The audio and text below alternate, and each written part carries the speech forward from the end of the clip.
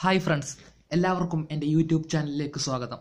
നമ്മൾ ഇന്നത്തെ വീഡിയോയിൽ പറയാൻ പോകുന്നത് വാഹനങ്ങളിലെ വീൽ അലൈൻമെന്റുകളെ കുറിച്ചാണ്.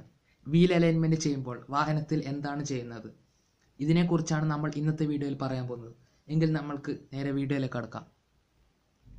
സാധാരണയായി വീൽ അലൈൻമെന്റ് ചെയ്യുമ്പോൾ കാറിന്റെ മൂന്ന് ആംഗിളാണ് സെറ്റ് ചെയ്യുന്നത്.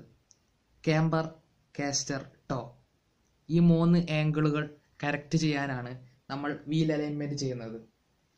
ഒരു വാഹനത്തിന്റെ എല്ലാ ടയറുകളും ഒരിക്കലും സ്ട്രെയിറ്റ് ആയിട്ടായിരിക്കില്ല ഫിറ്റ് ചെയ്തിരിക്കുന്നത്. ഇങ്ങനെ ഫിറ്റ് ചെയ്തിരിക്കുന്നത് ഒരിക്കലും പ്രാക്ടിക്കൽ അല്ല. അതുകൊണ്ട് പല ആവശ്യങ്ങൾക്കായി വാഹനങ്ങളുടെ ടയറുകൾക്കും അതിന്റെ ആംഗിളുകൾക്കും കുറേ ചെരിവുകളുണ്ട്. ഇതിനാണ് നമ്മൾ വീൽ അലൈൻമെന്റ് ചെയ്യുന്നത്. ഇനി നമ്മൾക്ക് ഓരോ ആംഗിളുകളെക്കുറിച്ചും അതെന്തിനാണ് സെറ്റ് ചെയ്യുന്നത് തുടങ്ങിയ കാര്യങ്ങളെ കുറിച്ച് പറയാം. ഒന്നാമത്തെ ആംഗിൾ ക്യാമ്പർ ആംഗിൾ ഇത് വാഹനത്തിന്റെ മുൻപിൽ നിന്ന് നോക്കിയാൽ കാണാൻ പറ്റുന്ന ഒരു ആംഗിളാണ് ക്യാമ്പർ ആംഗിൾ ഇത് രണ്ട് വിധത്തിലുണ്ട്.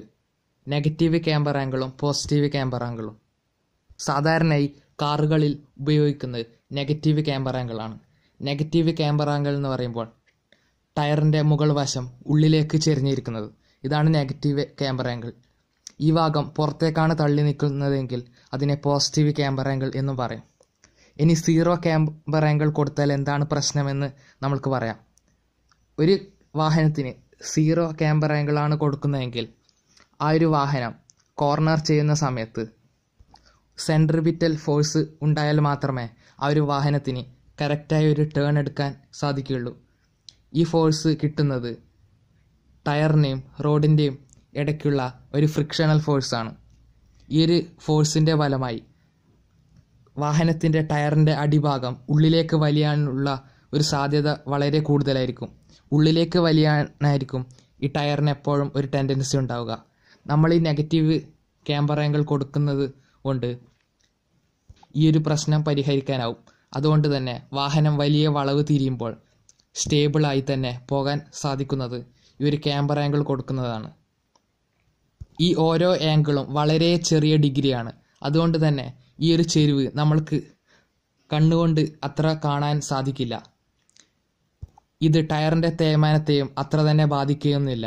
ഇത് വളരെ ചെറിയ ആംഗിളാണ് ഈ ഒരു ക്യാമ്പർ ആംഗിൾ ഈ ഒരു ക്യാമ്പർ ആംഗിൾ നാല് വീലിനും സെറ്റ് ചെയ്യും.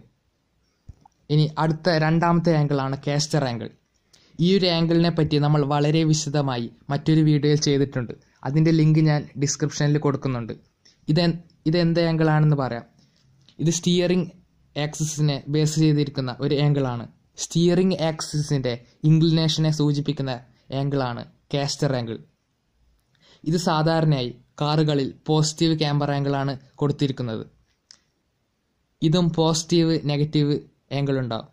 ഇത് നെഗറ്റീവ് ആംഗിൾ സീറോ ആണ് കൊടുത്തിരിക്കുന്നതെങ്കിൽ വാഹനത്തിന്റെ സ്റ്റിയറിങ് ടേൺ ചെയ്യുമ്പോൾ തിരിച്ചാൽ അതിൽ നിന്ന് കൈയെടുത്താൽ ഒരിക്കലും അത് സെന്റർ ഭാഗത്തേക്ക് ഓട്ടോമാറ്റിക്കായി തിരിച്ചു വരില്ല. ഇങ്ങനെ പോസിറ്റീവ് കാസ്റ്റർ ആംഗിൾ കൊടുത്തത് കൊണ്ടാണ് കാറുകളിലെ സ്റ്റിയറിങ് മുഴുവനായും തിരിച്ചതിന് ശേഷം അതിൽ നിന്നും കൈയെടുത്താൽ അത് ഓട്ടോമാറ്റിക്കായി അതിന്റെ സെൻട്രൽ പൊസിഷനിലേക്ക് വരുന്നത് ഈ ഒരു പോസിറ്റീവ് കാസ്റ്റർ ആംഗിൾ കൊടുത്തത് കൊണ്ടാണ്. മറ്റൊരു വീഡിയോയിൽ ഇതിനെപ്പറ്റി വിശദമായി പറഞ്ഞതുകൊണ്ടാണ് ഈ വീഡിയോയിൽ അത്ര തന്നെ പറയാത്തത്. ഈ ഒരു ആംഗിൾ വാഹനത്തിന്റെ ഫ്രണ്ട് വീലുകൾക്ക് മാത്രമേ ഉണ്ടാവുകയുള്ളൂ. കാരണം ഫ്രണ്ട് വീലാണ് നമ്മൾ സ്റ്റിയറിംഗ് ഉപയോഗിച്ച് കൺട്രോൾ ചെയ്യുന്നത്. ഇനി അടുത്ത ആംഗിളാണ് ടോ ആംഗിൾ ഇത് കാണണമെങ്കിൽ വാഹനത്തിന്റെ മുകളിൽ നിന്നും നോക്കിയാൽ കാണുന്ന ഒരു ആംഗിളാണ് ടോ ആംഗിൾ ഇത് രണ്ട് വിധത്തിലുണ്ട്. Toe in toe out toe in എന്ന് പറഞ്ഞാൽ വീലുകളുടെ ഉള്ളിലേക്ക് ചെരിഞ്ഞിരിക്കുന്നതാണ് ടോയിൻ. ഈ വീലുകൾ പുറത്തേക്കാണ് തള്ളി നിൽക്കുന്നതെങ്കിൽ അതിനെ ടോ ഔട്ട് എന്ന് പറയും. ഇതെന്തിനാണ് കൊടുക്കുന്നതെന്ന് പറഞ്ഞാൽ ഈ ആംഗിളുകൾ വാഹനം ടേൺ ചെയ്യുമ്പോൾ വാഹനം തെറിച്ചു പോകാതിരിക്കാനാണ് ഈ ഒരു ടോ ഇൻ ടോ ഔട്ട് കൊടുക്കുന്നത്. ഇത് ഓരോ വാഹനത്തെ അപേക്ഷിച്ചും ഈ ടോ ഇന്നും ടോ ഔട്ടും വ്യത്യസ്തമായിരിക്കും. ഓരോ വാഹനത്തിന്റെ ഫ്രണ്ട് വീൽ ഡ്രൈവ് ആണോ റിയർ വീൽ ഡ്രൈവ് ആണോ അതിൽ ഉപയോഗിച്ചിരിക്കുന്ന സ്റ്റിയറിംഗ് മെക്കാനിസത്തിനെ അനുസരിച്ചായിരിക്കും ഓരോ വാഹനത്തിനും ടോ ഇൻ ആണോ ടോ ഔട്ട് ആണോ കൊടുക്കേണ്ടതെന്ന് തീരുമാനിക്കുന്നത്. സാധാരണയായി റിയർ വീൽ വാഹനങ്ങൾക്കായിരിക്കും ടോ ഇൻ കൊടുക്കുന്നത്. കാരണം റിയർ വീൽ വാഹനങ്ങളാണ് ഓവർ സ്റ്റിയറിംഗ് ആവാനുള്ള ടെൻഡൻസി കാണിക്കുന്നത്.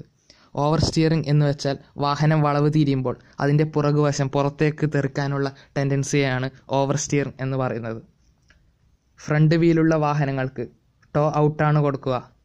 ഫ്രണ്ട് വീൽ കാരണം ഫ്രണ്ട് വീലുള്ള വാഹനങ്ങൾക്ക് അണ്ടർ സ്റ്റിയറിംഗ് ആവാനുള്ള സാധ്യതയുണ്ട്. ഇതിന്റെ കാരണം എന്തെന്ന് വെച്ചാൽ ഫ്രണ്ട് വീലുള്ള വാഹനങ്ങൾക്ക് ആ വീലുകളിൽ തന്നെ രണ്ട് ജോലിയുണ്ട്. ഒന്ന് ആക്സലറേറ്റ് ചെയ്യുക ഒന്ന് അതിന്റെ ഡയറക്ഷൻ ചേഞ്ച് ചെയ്യുക. ഈ രണ്ട് ജോലിയും ഒരേ വീൽ തന്നെ ചെയ്യുമ്പോൾ അത് അതിന്റെ ഫ്രണ്ട് വശം പുറത്തേക്ക് തെറിക്കാനുള്ള ടെൻഡൻസി ഉണ്ടാകും. ഇതിനാണ് നമ്മൾ അണ്ടർ സ്റ്റിയറിംഗ് എന്ന് പറയുക. ഇത് ഒഴിവാക്കാനാണ് നമ്മൾ ടോയിൻ കൊടുക്കുന്നത്. അതുപോലെ തന്നെ ഫ്രണ്ട് വീൽ വാഹനങ്ങൾക്ക് ടോ ഔട്ടും കൊടുക്കുന്നത്. ഇത്രയും മാത്രമാണ് നമ്മൾക്ക് വീൽ അലൈൻമെന്റിനെ കുറിച്ച് ഈ ഒരു മൂന്ന് ആംഗിളുകളെ പറ്റി പറയാനുള്ളത്. ഈ ഓരോ ആംഗിളുകളും ഓരോ വാഹനത്തെയും ഓരോ വാഹനത്തിന്റെ മോഡലുകളെയും അപേക്ഷിച്ച് വ്യത്യാസമായിരിക്കും. ഒരു വാഹനത്തിലുള്ള ഈ ഒരു മൂന്ന് ആംഗിൾ ആയിരിക്കില്ല മറ്റൊരു വാഹനത്തിന്. അത് അതാത് മാനുഫാക്ചർ റെക്കമെൻഡ് ചെയ്തിരിക്കും. ഏതൊക്കെ ആംഗിളിലാണ് ഓരോ വീലുകളും സെറ്റ് ചെയ്തിരിക്കേണ്ടതെന്ന്. ഈ ഓരോ ആംഗിളും വളരെ ചെറിയ ആംഗിൾ ആയിരിക്കും. അതുകൊണ്ട് ഈ വീലുകൾ ചിരിച്ചു കൊടുക്കുന്നത് കൊണ്ട് വീലുകൾക്കോ ടയറുകൾക്കോ കൂടുതൽ തേയ്മാനമോ ഡ്രൈവിങ്ങിനെയോ ബാധിക്കുക ഒന്നുമില്ല. ഇനി എപ്പോഴൊക്കെയാണ് വീൽ അലൈൻമെന്റ് ചെക്ക് ചെയ്യേണ്ടതെന്ന് പറയാം. ഓരോ അയ്യാ അയ്യായിരം കിലോമീറ്റർ കൂടുന്തോറും എന്തായാലും വീൽ അലൈൻമെന്റ് ചെക്ക് ചെയ്ത് കറക്റ്റ് ചെയ്യണം. ഇനി എപ്പോഴെല്ലാമാണ് വീൽ അലൈൻമെന്റ് തെറ്റുക എന്ന് പറയാം? എന്തായാലും ഒരു വാഹനം കുറേ കിലോമീറ്റർ ഓടുമ്പോൾ എന്തായാലും വീൽ അലൈൻമെന്റിന് വ്യത്യാസം വരും. അത് വലിയ കുഴികളിലും മറ്റും ചാടുമ്പോഴും വീൽ അലൈൻമെന്റിന് വ്യത്യാസം വരും. പിന്നെ വലിയ എന്തെങ്കിലും ആക്സിഡന്റ് മറ്റോ സംഭവിച്ചാലും വീൽ അലൈൻമെന്റിന് വ്യത്യാസം വരും. ഇനി വീൽ അലൈൻമെന്റിന് വ്യത്യാസം വന്നാൽ എങ്ങനെ പെട്ടെന്ന് മനസ്സിലാക്കാമെന്ന് പറയാം. വീൽ അലൈൻമെന്റിന് വ്യത്യാസം വന്നാൽ വാഹനം ടേൺ ചെയ്യുമ്പോൾ സ്റ്റിയറിങ് തിരിച്ച് അതിൽ നിന്ന് കൈയെടുത്താൽ അത് അതിന്റെ സെൻട്രൽ പൊസിഷനിൽ നിൽക്കില്ല. അല്ലാതെ വാഹനം സ്ട്രേറ്റ് ലൈനിൽ ഓടിക്കൊണ്ടിരിക്കുമ്പോൾ ഒരു സൈഡിലേക്ക് വലിവ് തുടങ്ങിയ എന്തെങ്കിലും പ്രശ്നമുണ്ടെങ്കിൽ അത് വീൽ അലൈൻമെന്റ് തെറ്റിയതിന്റെ സൂചനയാണ്. ഇത്രയും കാര്യങ്ങൾ മാത്രമാണ് നമ്മൾ ഇന്നത്തെ വീഡിയോയിൽ വീൽ അലൈൻമെന്റിനെ കുറിച്ച് പറയാനുള്ളത്.